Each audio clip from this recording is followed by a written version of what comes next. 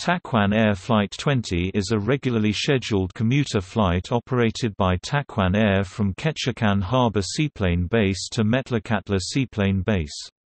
On 20 May 2019, the de Havilland Canada DHC-2 Beaver floatplane operating the flight overturned in the harbor in Metlakatla, Alaska, United States during a water landing, destroying the aircraft and killing both persons aboard.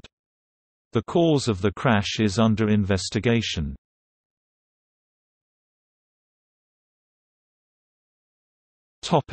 Aircraft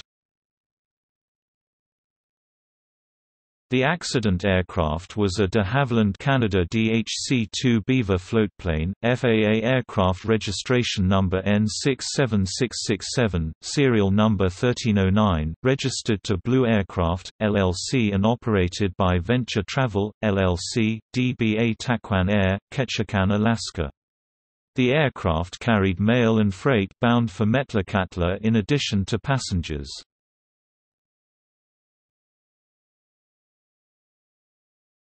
Topic: Crash. At about 3.56 pm local time, the aircraft initiated a landing in the Metlakatla harbor in a westerly direction. Two witnesses reported that as the aircraft descended, it rocked to the left, and then to the right. As it touched down, one witness reported that the right float dug in to the water, and another reported that the right wing struck the water. The aircraft nosed over and came to rest inverted with the passenger cabin submerged. Volunteers from the Metlakatla Volunteer Fire Department and the Ketchikan Volunteer Rescue Squad responded in rescue boats, and the crash was reported to the U.S. Coast Guard was at 4.10 p.m. First responders were able to hoist the aircraft partially out of the water by the empennage and extract the occupants, airplane seats, mail and packages. The crash tore away the right wing and wing strut. These components, along with the removed passenger seat, remained missing when the preliminary accident report was issued. Local volunteers subsequently towed the stricken aircraft to shore.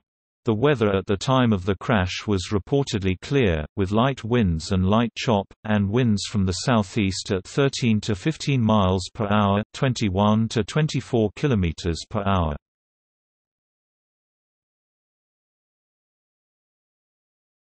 Topic: Passengers and crew. The aircraft carried a single pilot and a single passenger, both of whom perished in the crash. The victims were identified the following day. The passenger was an epidemiologist who was commuting to an Alaska Native Tribal Health Consortium clinic in Metlakatla. The pilot was a seasonal hire and held a commercial pilot certificate with single-engine land, single-engine sea, and an instrument ratings. He had 1,606 hours of total flight time with 5 hours in float-equipped airplanes.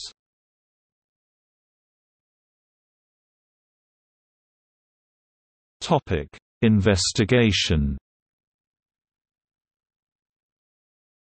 The National Transportation Safety Board (NTSB) immediately began an investigation of the accident. The NTSB also initiated a separate overall investigation of Taquan Air. The airline declined to comment.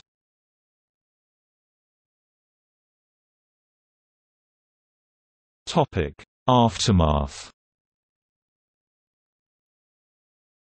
The accident occurred one week after the 2019 George Inlet, Alaska midair collision, another multiple fatality air crash involving a Taquan flight, and the airline suspended all flights the following day.